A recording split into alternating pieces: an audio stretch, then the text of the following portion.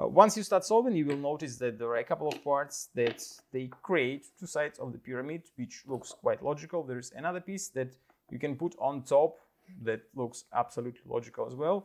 But then there are two weird parts that don't fit nicely together. And if you put them on a stand, it looks kind of weird. It doesn't really look like a perfect pyramid. So as I already mentioned, there are two parts that create two sides of the pyramid. But actually, you don't have to put them like that.